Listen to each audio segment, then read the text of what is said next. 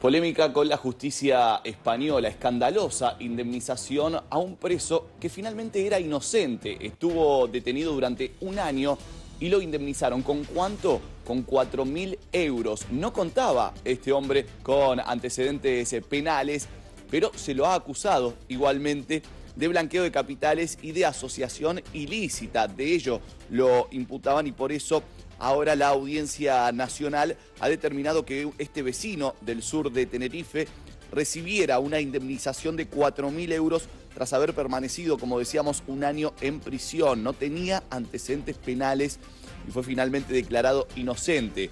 Este ciudadano es hijo de los involucrados en una presunta trama mafiosa, también absuelto de ello. En su, en su caso, se reconoció una compensación de 10.000 euros, de los que no se ha visto cantidad alguna. El dinero se destinó a pagar deudas con la seguridad social, ya que durante los años de cárcel fue imposible abonarlas.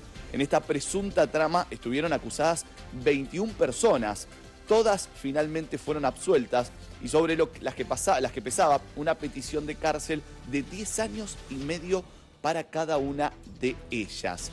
Las sospechas apuntaban a que los fondos invertidos en la construcción de un complejo turístico en ADG, denominado Marina Palas, provenían de blanqueo de operaciones y tráfico de hashish pero finalmente se demostró que no existía ni siquiera una previsión cuantificable del dinero supuestamente blanqueado. Reiteramos, estuvo preso un año siendo inocente y lo indemnizaron con 4.000 euros.